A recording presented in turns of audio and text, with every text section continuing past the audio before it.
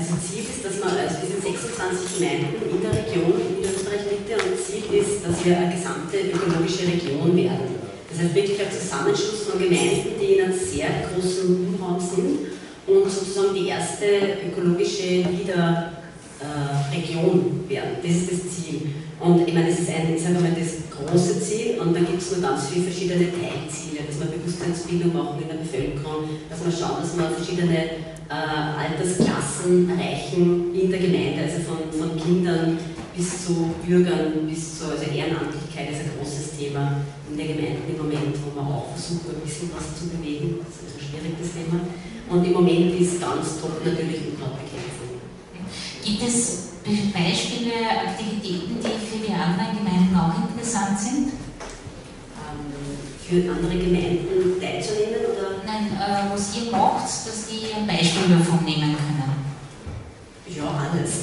Gib uns ein paar Erfolgsbeispiele. Die, die 26 Gemeinden sind wirklich total motiviert, was mich irrsinnig freut. Wir haben äh, letzte Woche wir haben verschiedene Veranstaltungen, machen wir immer wieder.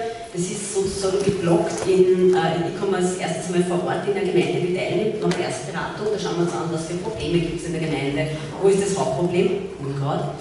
Und was gibt es sonst noch? Ja, es ist ja meistens sind Teilbereiche und habe dann notiert in allen Gemeinden, äh, was ist von Interesse, was braucht ihr, wo braucht man Know-how noch. Und da hat es zum Beispiel ergeben, dass die meisten Gemeinden angegeben haben, oder eigentlich fast alle, äh, dass Blumenwiesen oder Artenreichtum sowas auch ein Thema ist und dass die meisten ein Problem haben bei der Blumenwiesenanlage.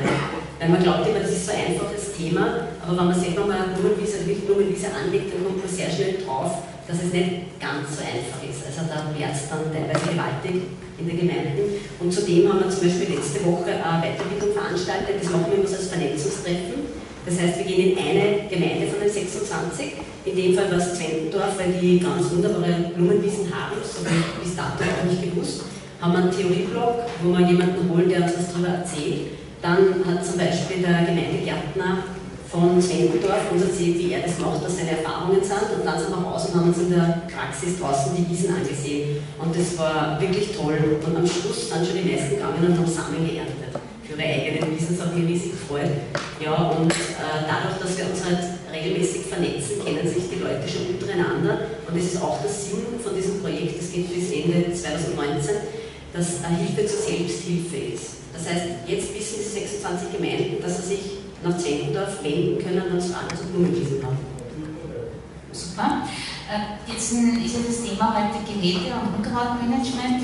Äh, wie ist denn da die Diskussion? Da gibt es ja auch kleine und große Gemeinden in deiner äh, Region. Ja, wir haben vom LIDA-Projekt her am Anfang uns ein Gerät zugelegt, also gemietet sozusagen, was wir im Abstorf stationiert hatten. Das ist ein Heißwasser-, Heißdampfgerät und waren am Anfang der Meinung, dass das für alle Gemeinden die Nonplusultra-Lösung ist. Und ja, funktioniert super, haben wir heute eh schon ein paar Mal gehört. Äh, das Spannende war, dass das nicht so ist. Also ich muss jetzt ein bisschen konträr zu dem, was am Vormittag war, berichten, muss ich dazu sagen. Für mein, im Moment, ja, was ich sehe bei meinen Gemeinden, ist, dass für große Gemeinden, wie Tulln gehört eben auch dazu, zur Niederregion, macht es wirklich Sinn, so ein Gerät, also das Wasser heißt Dampf in dem Sinn, äh, aber für kleine Gemeinden eher nicht. Also es ist bei unseren kleineren Gemeinden äh, in der Region so, dass das erstens ein Kostenfaktor ist natürlich. Dann, äh, wir haben es heute schon in Diskussionen gehört, Wasserverbrauch ist irgendwie in aller Munde und dann noch, wenn man zwei Personen zum Bedienen braucht bei den meisten Geräten, wenn man es nicht anbaumäßig drauf hat.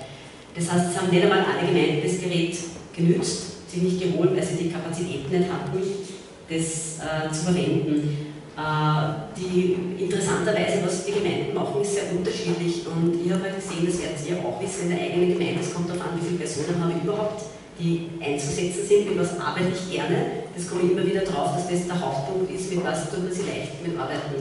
Habe ich schon Geräte vor Ort. Ähm, ja, was für, was für Techniken mag ich selber.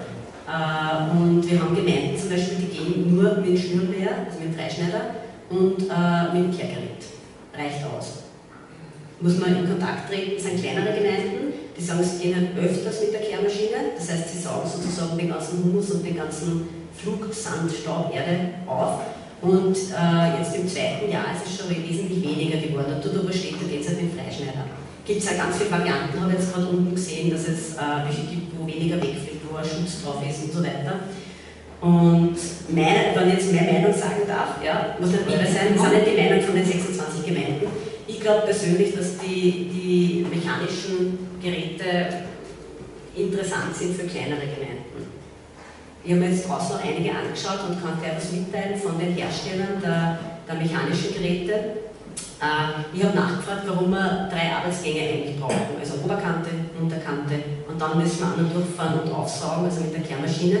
Und das wurde jetzt aufgenommen von zwei Firmen und die geben das gleich weiter an die Techniker und sagen, sie werden ein Gerät entwickeln, versprechen sie, was Oberkante, Unterkante und gleichzeitig natürlich, das gibt es heutzutage eh schon, was dann äh, aufsaugt. Und die werden uns dann mitteilen, wann das, also wann sie vorhaben, das zu produzieren, aber da gibt es gleich an den Techniker weiter. Sehr cool. Gibt es Fragen an die Fiona Kiss von Ihrer Seite? Kein Problem, die Fiona ist noch da und kann man auch bis 16 Uhr jederzeit äh, ausfragen und natürlich auch die Gemeinden, die da eher hinten sitzen, äh, die aus der Region sind, da, deren gerne ihre Erfahrungen mit was vergessen, der das nur erwähnen, weil schaut es aus, wenn wir nur so Blumenwiesen Weiterbildungen machen und uns um Geräte kümmern. Wir haben ein Gesamtkonzept. Ja, es ist, haben ein Gesamtkonzept über diese drei Jahre, wo wir ökopädagogische Programme starten in den Schulen der Regionen. Das startet morgen mit der Einstellung der acht Ökopädagoginnen, die auch aus der Region ausgewählt wurden. Dann, also da gehen wir in die Schulen sozusagen von acht bis zwölf Jahre. Dann äh, haben wir dieses Weiterbildungskonzept, dann äh, führen wir ein Grünflächenkataster ein und wir sind ein transnationales Projekt, das habe ich nicht erwähnt. Das heißt, wir machen das mit Sachsen-Anhalt in Deutschland gemeinsam und da gibt es auch einen großen Know-how-Austausch. Also wir schauen, wie tun wir da. Also so ein bisschen ein Überblick. Über zu. Danke, Fiona Kiss.